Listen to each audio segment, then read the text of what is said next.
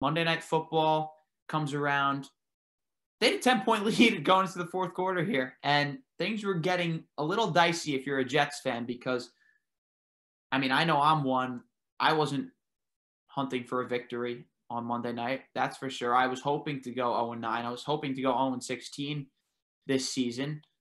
And it looked like the Jets were going to win a game. It, it, was pretty remarkable. And you were just imagining throughout this, at least I was, that is Bill Belichick throwing this game?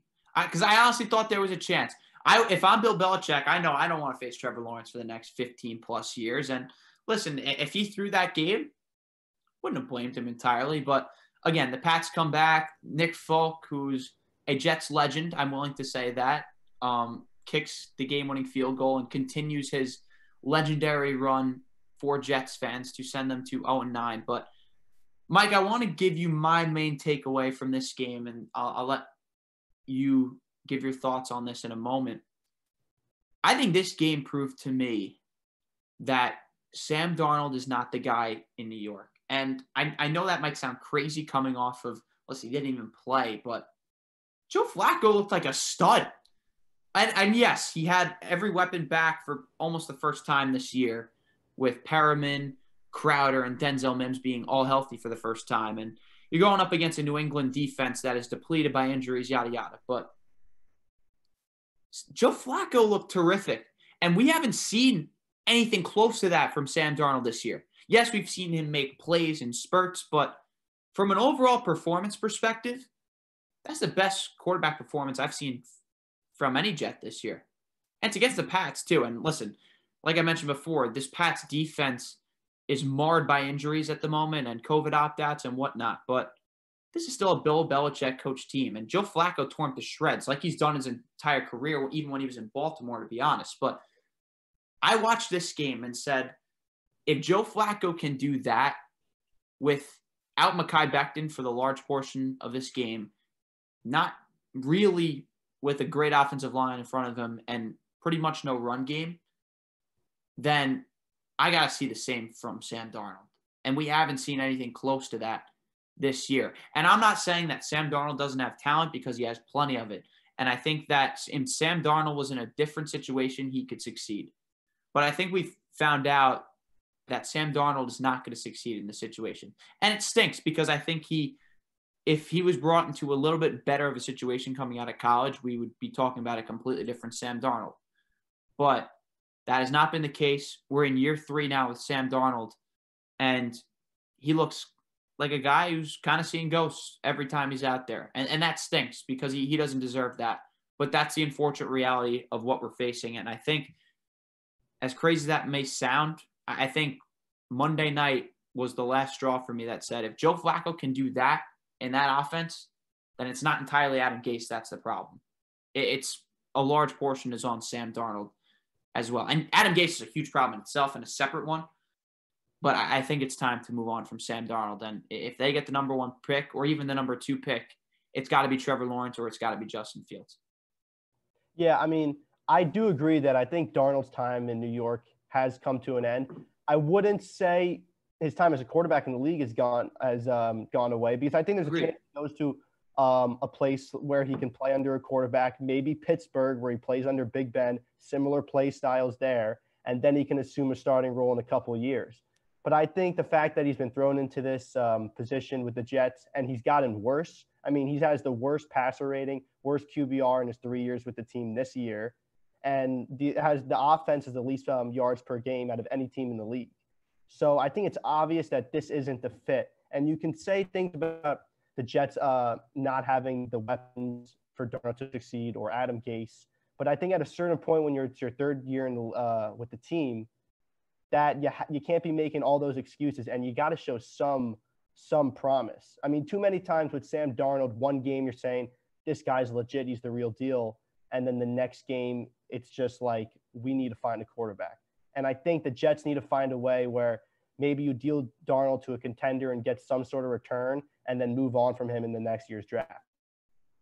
I agree with you in the fact that I don't think he's done as a quarterback in this league. I, I truly believe that if you put him in a situation with talent around him and weapons, he can be a guy who's in top of the league quarterback. in terms of being a top 15 guy in the entire NFL. And I truly believe that because I think if you look at in year one and year two, yes, there were issues and the turnovers are certainly a problem, but this is a guy who, let's be honest, has had arguably the two worst coaches in the NFL in Todd Bowles and Adam Gase, who I think is the worst head coach in the history of professional sports. And I've been documented saying that. However, like you mentioned, this is year three. You were expecting a jump from him this year. And listen, the pieces have not been there. That is for certain. No one's been healthy. The offensive line's been a disaster, and the schedule has been terrible. But we have seen a Sam Darnold that has regressed, and injuries have been a factor in that, and a lack of talent has also been a big contributor there. But the fact of the matter is, Sam Darnold's going in the opposite direction. And I don't know if the Jets can ill afford to pass up on Trevor Lawrence. Actually, I shouldn't say I don't know. They can't afford to pass up on Trevor Lawrence because this is a guy who's clearly a generational type talent who wherever he goes, he's going to have success. Like he's a guy who's going to succeed in any situation, I think. And that will obviously vary in terms of degrees of success depending on the talent around him, but he's going to have success in the NFL. And the Jets can't afford to miss out on that type of talent. And honestly, I believe the same about Justin Fields. Justin Fields is not on Trevor Lawrence's level, but he is a guy where I think that he's going to be a successful quarterback in the NFL. Unless we said the same things about Darnold coming out of college, and we were wrong. But a large portion of that has been because he has been completely deteriorated by an incompetent organization in the New York Jets. I think a big question would be Are you worried if you're the Jets that you draft another quarterback and you put him in the same situation as Darnold um, are you just ushering in a QB to not succeed? And I think that's a big question too. And Trevor Lawrence is a generational talent. So I feel like if he is the guy you're picking, then that's not a worry. But there have been talks that maybe Trevor Lawrence does he stay with Clemson for another year? And I know oh, we're not we doing that earlier. But we're not doing this. I think Come if on. that's the case, you reach for a guy like Fields. Now, I do think that Lawrence is going to go to the draft. I don't see him staying in Clemson, even though people have been saying that if he goes into this draft or the Jets are taking him. But if not, then you have a question about what you're going to do. It would be an outrageous decision for Trevor Lawrence to stay at school. And, and I, I think that would be arguably the worst decision any quarterback has made in terms of in terms of a draft. I mean, let's look at it.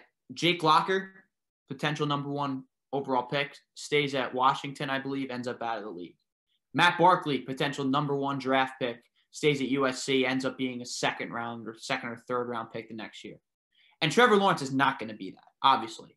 But my point is this you are leaving millions upon millions of dollars on the table and potentially a lot more if he ends up somewhere other than New York. Because he, here's my thing about Trevor Lawrence, like not wanting to go to the New York Jets. And there's reason for that if Adam Gase is still here.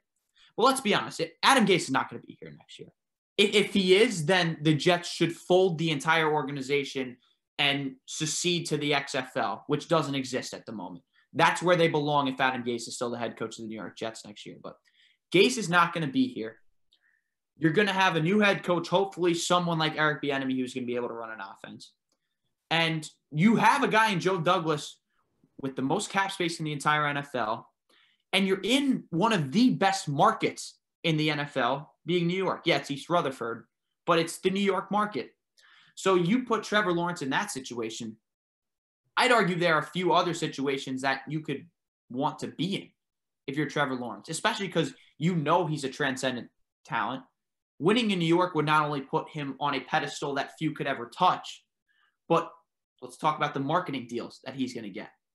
They're going to be insane, especially for a quarterback in New York. If he's going to be successful, oh my God, he's going to get marketing deals out the wazoo on top of a monster contract if he's successful in New York. I don't. I think there's very few ceilings he could choose that would end up being better than New York. So for him to stay at Clemson would could be a potential decision to leave hundreds of million dollars on the table. And listen, I want to bring up Dajuan Wagner for a second too, who was a former Memphis basketball player, played under John Calipari, who wanted to go back to school. And Calipari said, no, you are going to the draft because you have to make money. He goes to the NF, the NBA, excuse me.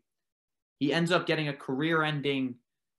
I forget exactly what it was, but it was like a career-ending like illness or something, and he would have been he would have been done if he stayed at Memphis. No money, not really too much of an education to work with.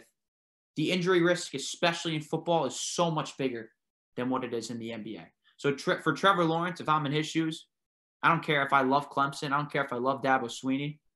The people around him got to be telling him, "You better go to that draft, man, because it's the best decision for him." Yeah, I, de- I mean, I do agree with that 100%. And look at the other options. I mean, you wait a year and you get Jacksonville maybe as the team yeah, going. exactly. I mean, I'm taking New York, even if it's like uh, in New Jersey, East Rutherford. I'm still taking New York City, that brand. And what imagine being the guy who comes in there and leads the Jets to a playoffs. Maybe not the first year you're there, but the second or third year. If I'm Trevor Lawrence, I'm thinking about that possibility. I mean, even for Joe Burrow, would you rather be in his shoes and uh, playing for the Bengals right now? I personally would rather for the Jets, even if it, even if they're the worst yeah. team in the league by a, a, a, a long stretch.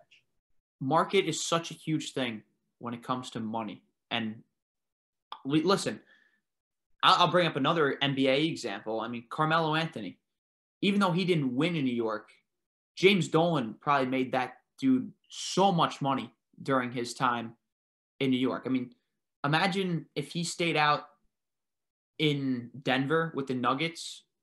There's no chance he's making anywhere close to the money he would have made just from the marketing deals in New York alone and being around successful people.